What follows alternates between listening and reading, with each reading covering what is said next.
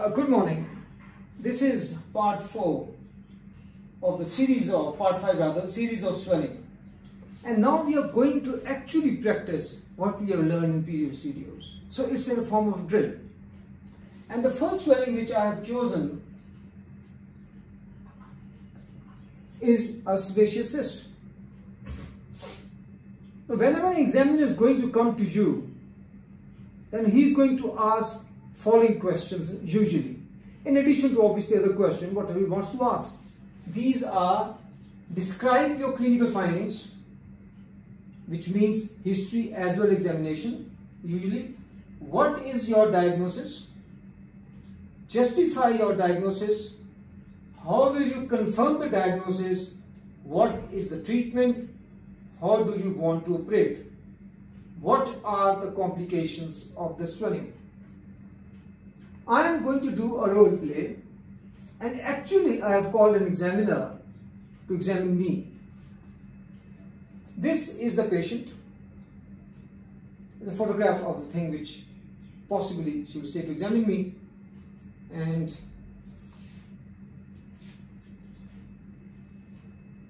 let's uh, say what does the examiner says. This is the patient for you with the swelling kindly examine it and then when you are ready, let me know. Okay, uh, can I examine you? Okay, thank you very much. I'm going to ask you a few questions also.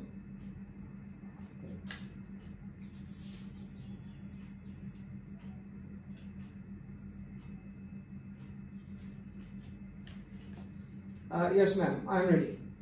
Okay. Describe your clinical findings. Well then, uh, the, the, patient gives a history of, it's a young patient and this patient noticed a swelling many months ago and this has gradually increased in size and uh, the patient noticed the swelling while combing the hair and she says now whenever she combs the hair it scratches the swelling and she feels some pain and discomfort in that and it is slowly growing. And she has also noticed that two times or one or two times in last many months there was some discharge and it was foul smelling from the swelling. And in addition to this she also says that uh, there's a two more swellings in the scalp what you have seen. When I examined the swelling the swelling was tense and hemispherical and its diameter was roughly 3 centimeter. Its surface is smooth and a punctum is visible. Edge is well defined and easy to feel.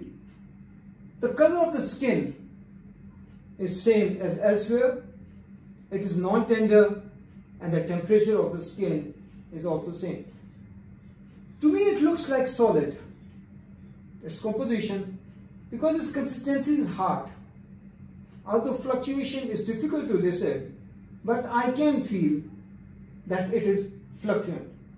It is not transilluminant. It is attached to the skin. It's not attached to the underlying muscles and the local lymph nodes are not enlarged. What is your diagnosis? Depending on history clinical examination, my diagnosis is sebaceous cyst. Justify your diagnosis. I said it is a sebaceous cyst because this swelling is attached to the skin it is not from subcutaneous tissue and sebaceous cyst arises from the skin. Moreover, I can see the diagnostic sign punctum which is of the sebaceous cyst. So that is why I think it is a sebaceous cyst. How is a sebaceous cyst and its punctum formed? You see, sebaceous glands are present in the skin and the ducts open in the hair follicle and that's the fixed part. Whenever the duct gets blocked, the gland always swells. So somehow or the other, when the duct of the sebaceous gland blocked, then the secretions are retained behind and it swells. And once it swells, there appears as a small lump, which is the sebaceous cyst. Now as it enlarges, the fixed point is where its mouth is opening the hair follicle. So that point gets depressed and it appears like a very small opening which is called as a punctum. How will you confirm the diagnosis? In presence of a punctum, in fact, one may not need an investigation to diagnose. But uh, if uh, a fine needle aspiration cytology can diagnose it, What is the treatment? the treatment is excision under local anesthesia. Why do you want to operate? There are two reasons. Number one, in this case, the patient is feeling that causing problem to him because whenever he combs the hair, it gets scratched.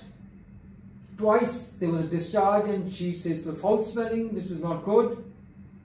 And equally, if we leave it behind, it can get complicated.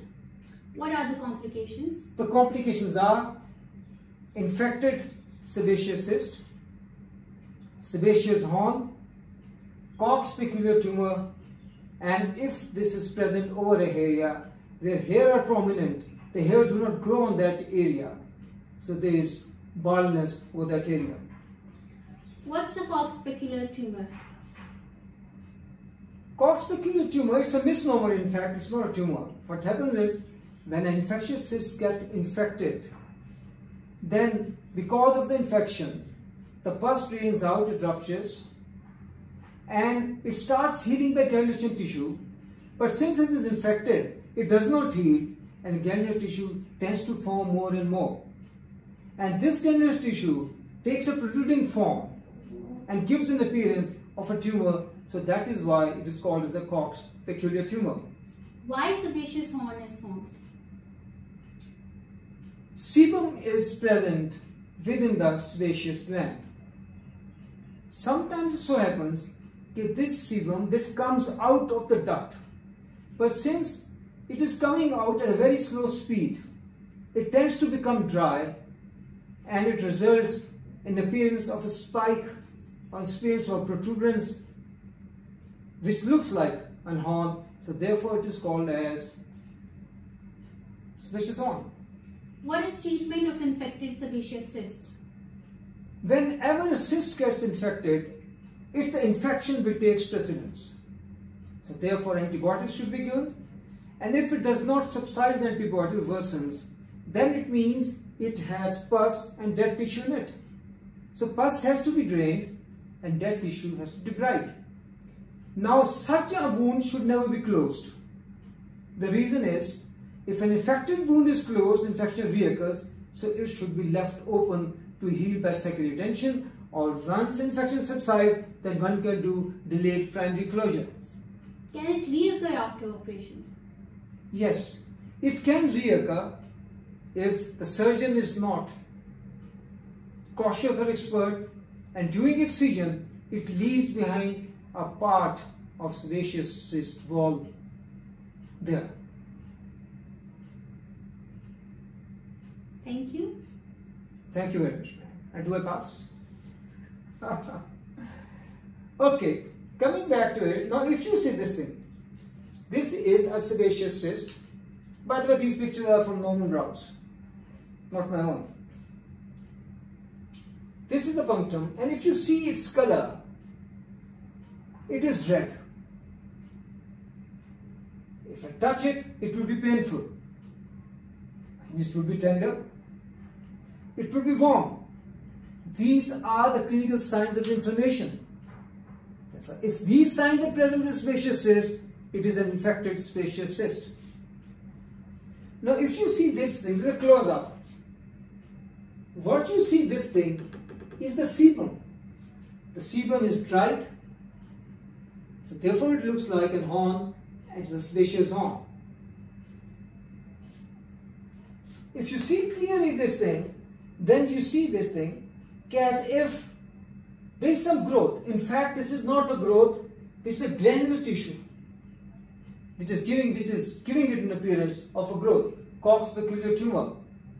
And here if you see on the scalp multiple cysts and in this area of the scalp the hairs are not growing that well, giving rise to baldness. Please show me the first slide.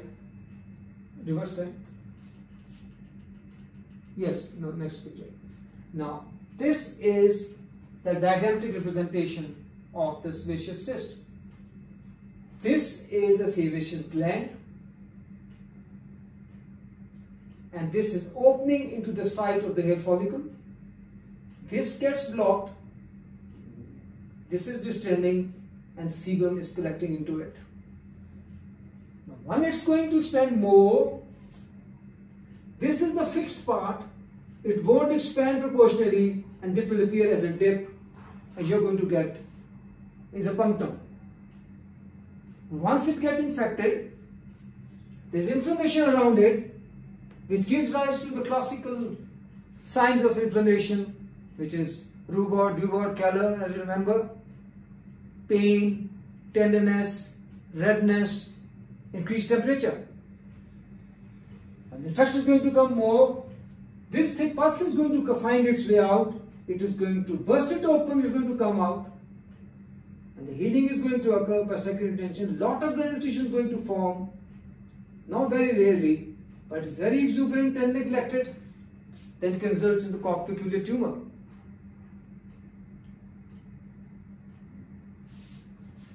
I hope this helps you. We are going to do further drills and hopefully next we might be discussing a lipoma or a ganglion. Have a good day. Thank you very much.